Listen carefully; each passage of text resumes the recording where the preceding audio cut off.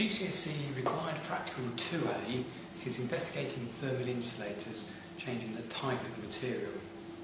So the first thing you need to do is to wrap the sides of two beakers with different insulating materials and leave the bottoms free of material so they can rest on the bench nice and easily. So we've got some bubble wrap here and we've got black paper and then leave one beaker free of any material to act as a control. Use the kettle, so freshly boiled, and pour the same quantity of water into each of these. You can see the measurement marks from the inside of the beaker. Just take care with this.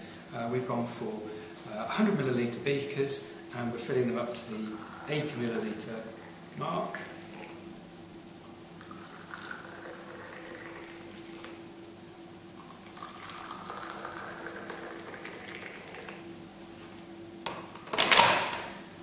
So we need to use a piece of cardboard for the lids to reduce the heat transfer by evaporation.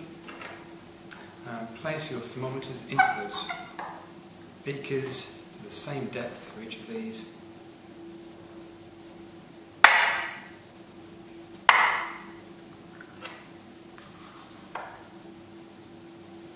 Now We'd normally leave it for a moment just to stabilise, perhaps a minute, um, but the time it takes to assemble this apparatus is usually sufficient uh, to allow the temperature to stabilise. Then it's just a matter of taking the measurement of the temperature and then recording that every minute uh, for a period of 15 minutes with the bubble wrap, the black paper and the control. Okay? I'm going to start my stopwatch now and get on with the measurements.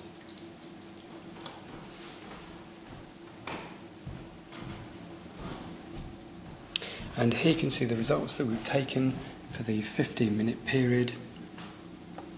So these will now be transferred to a, a graph, a line graph, and have three separate lines carefully labelled, one for the bubble wrap, one for the black paper, and one for the control, and with time going along the, uh, the bottom axis or the, as the independent variable.